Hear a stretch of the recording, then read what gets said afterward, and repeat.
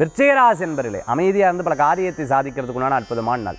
நம்ம ப்ர அங்கே இந்த வேலை வச்சுட்டுருக்கோம் இங்கே இந்த வேலை வச்சுட்டுருக்கோம் இந்த மாதிரி பல்வேறு விஷயங்களை வரக்கூடிய வாரங்களும் வரக்கூடிய மாதங்களை பற்றி சிந்திக்கக்கூடிய அற்புதமான நாளாக இருக்கும். ஆன்லைன் சம்மந்தமான சில கிளாஸஸ் எல்லாம் எடுக்கிறத பற்றி நிறைய படிக்கணும் அப்படிங்கிற விஷயம் நிறைய தெரிஞ்சுக்கணும் அப்படிங்கிற விஷயம் உங்களுக்கு அனுகூல்யமாக இருக்கும். சில நேரம் ரொம்ப நேரம் நம்மளுடைய லைஃப் வந்து இந்த செல்ஃபோன்லேயும் அதே மாதிரி கம்ப்யூட்டர்லேயும் போயிட்டு இருக்கு எப்படி என்ன இப்படி ஆகிடுத்தே நம்ம பார்த்துட்டேன் அப்படின்னு சொன்னால் ஒரே விஷயத்தை நோக்கி நம்மளுடைய குவியல் இருந்துட்டு இனிமேல் மாறணும்.